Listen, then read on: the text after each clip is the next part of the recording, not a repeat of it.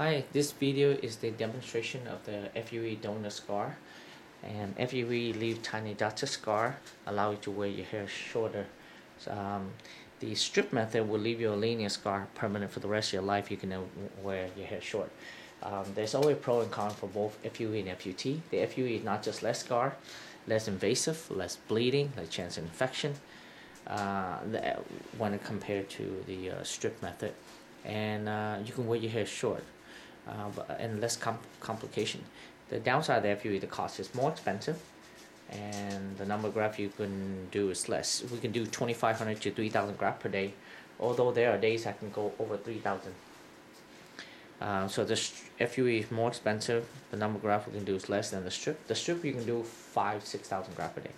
The other benefit of the F, uh, the other downside of the FUE the, uh, is the uh, growth rate. Now, I perform both FUE and FUT. You can have good result with both FUE and FUT. But if you compare my FUE and my FUT, the growth rate is five to ten percent less uh, with my FUE versus my FUT. On the other hand, the strip method is not just a linear scar.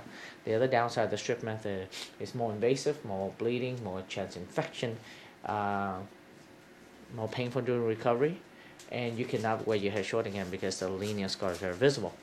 But the benefit of the uh, strip method or the FUSS or FUT are uh, is cheaper and we can and number two is we can move a large number of graft per day. We can go four thousand up to five six thousand graft per day, um, depending how elastic your scalp is.